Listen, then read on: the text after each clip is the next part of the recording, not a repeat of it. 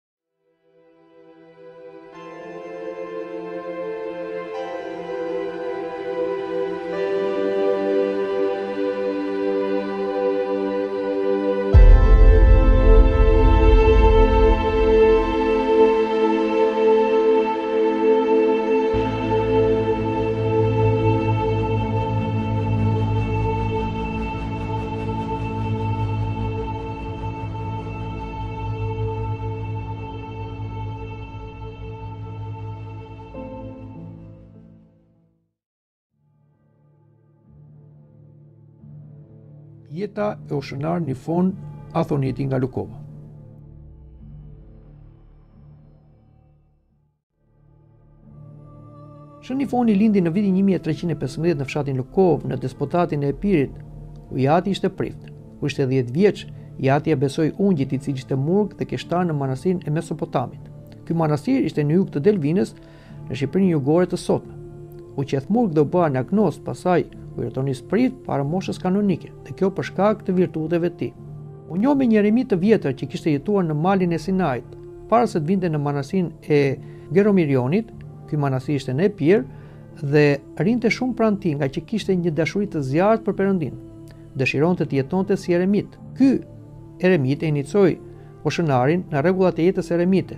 E mësoi si të ruante zemrën dhe lutjen e brendshme dhe Nifoni përparoi aq shumë në asketizëm, saqë kishte bërë zakon të recitonte gjithë psaltirin duke qëndruar mbi një këmbë për të mos e lejuar veten të shpërqendrohej.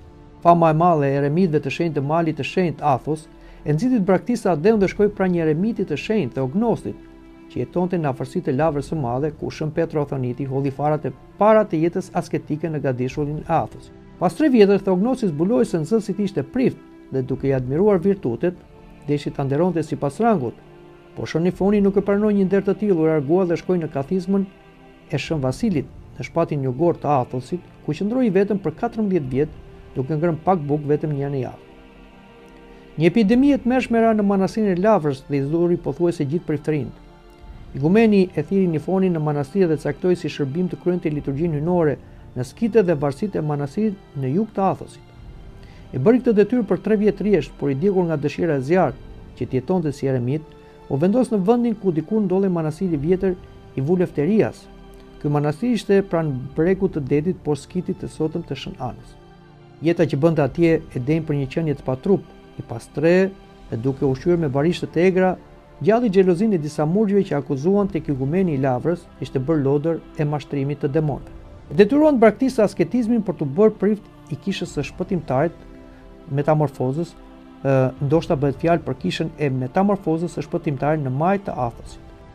Dhe oshënar Nifoni tërhoqi pranë vetes një numër të madh murgjish që vinin për të jetuar nën udhëheqjen e tij shpirtërore.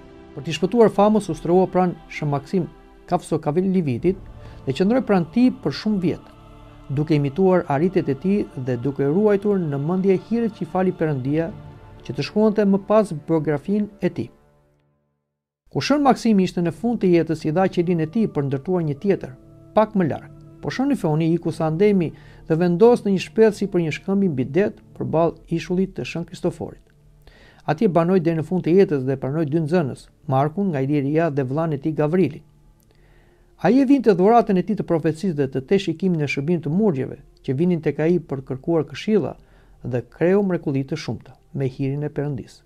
Pas disfatës dhe vdekjes së despotit serb Joan Ugliçi në vitin 1371, meqenëse flota turke po kërcënonte Athosin, igumeni i Lavrës erdhi për ta takuar që t'i kërkonte lutjen e tij. Pak ditë më vonë, tri anije ushtarake erdhën dhe i dëbuan turqit larg, duke lënë në Lavër një pjesë të plaçkës së luftës. Shën Nifoni shkëlqeu si një yll në malin e shenjtë Athos dhe fjeti në paqe në vitin 1411 në moshën 96 vjeçare.